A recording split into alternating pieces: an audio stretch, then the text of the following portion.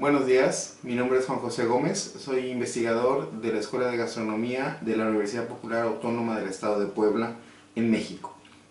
El tema que vamos a abordar el día de hoy acerca del etiquetado nutrimental y la importancia que tiene que ustedes se informen sobre los diferentes puntos a considerar dentro de una etiqueta en el súper o en cualquier punto de venta en el cual ustedes asistan. El consumidor, sobre todo el que se informa, se detiene aproximadamente una a dos horas en un supermercado observando las etiquetas y viendo las diferentes opciones que se tienen de consumo.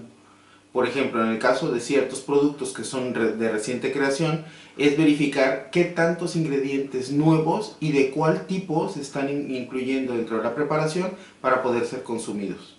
Es muy importante que aprendamos a leer una etiqueta nutrimental.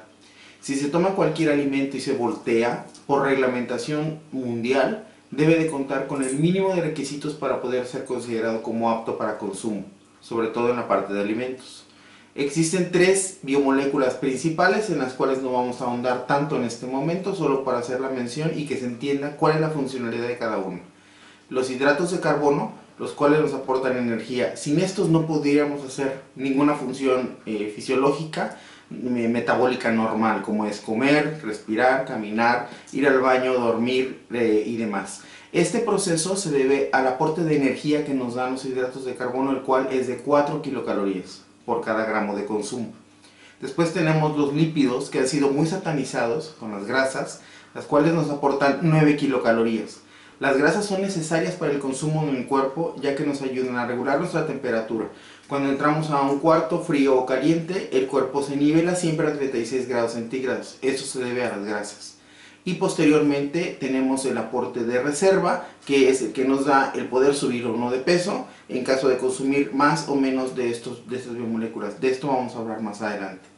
Y finalmente las proteínas, que son aquellas que nos dan estructura en el cuerpo, como son las uñas, el cabello, los músculos y la piel. Las proteínas nos aportan 4 kilocalorías. En función a esto, no es importante saber cuántas calorías tiene un alimento, sino de qué tipo de calorías estamos consumiendo. Por ejemplo, si, hablamos de una etiqueta que contiene aproximadamente eh, un 60% de hidratos de carbono, un 20% de grasas y la diferencia entre proteínas y vitaminas, estamos hablando de un pan o de algo que nos aporta energía. Si yo consumo en exceso esa cantidad de alimentos, voy a acumularlos totalmente a grasa. El cuerpo está diseñado para convertir todo lo que se consume en exceso en grasa, porque se protege y lo reserva en el tejido adiposo que tenemos generalmente en el centro del cuerpo, que es la parte abdominal. Es normal que los hombres y las mujeres acumulen en esa zona, sobre todo las mujeres porque el metabolismo es un poco más lento, grasa. Y eso es lo que nos hace ver gordos o con sobrepeso. La idea en este punto es que ustedes al, voltear una etiqueta vean de cuántas calorías proviene cada una de las biomoléculas que estamos consumiendo. Si son proteínas, que es muy raro que eso suceda, porque los alimentos que están listos para consumo no son de alto valor biológico, es decir, no aportan tantas proteínas como lo puede aportar una carne, o lo puede aportar el huevo, o los frijoles que están crudos y que deben de ser procesados. Esos alimentos no están etiquetados y de ahí que no se puede saber cuántas proteínas tiene ese producto de primer golpe en un súper. Lo que hay que hacer es buscar en una referencia y saber de qué estamos consumiendo las proteínas. Por otro lado, las grasas difícilmente reportan cuántas eh, están siendo consumidas y nos falsean la información. No es que esté equivocada, sino que está truqueada. Vamos a hablar de, una bolsa de papas, de papas fritas, pequeñas, más o menos una porción de eh, 150 gramos, una porción de 100 a 150 gramos, que es lo habitual en un snack que compramos en un punto de venta en la calle, las personas cuando lo compran no se fijan en cuántas porciones tiene la bolsa. Las porciones también es un punto muy importante porque las calorías vienen por porción. Si estamos consumiendo, por ejemplo, una bolsa de 100 gramos y adentro de la bolsa hay tres porciones, entonces tendremos que multiplicar las cantidades de calorías que tiene reportada la etiqueta por 3 porque difícilmente yo al abrir la bolsa solo me como la, tercera parte y dejo las dos terceras partes para que otra persona lo haga. Como yo la pagué, yo me la como completa.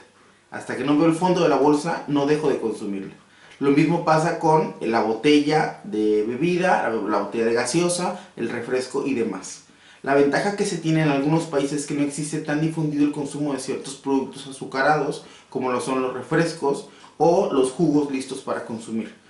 Es de ahí la importancia que ustedes aprendan a leer etiquetas. Punto número uno para hacer el resumen de la explicación es observar de dónde provienen las calorías. Si están proviniendo de hidratos de carbono o de grasas, ese alimento es de, alto valor, eh, de altas calorías y tiene un aporte calórico elevado. Por otro lado tenemos el número de porciones que contiene el empaque. Voltearlo y ver si son 2.5, 3 porciones. Existen bebidas que llegan a ser hasta 10 porciones por empaque. Y las calorías, por ejemplo, son de 350. Entonces ya sabrán que en esa bebida estamos consumiendo 3.500 calorías. Esa es una importancia eh, en función a la alimentación y también que la gente sepa lo que estamos consumiendo actualmente. Muchas gracias.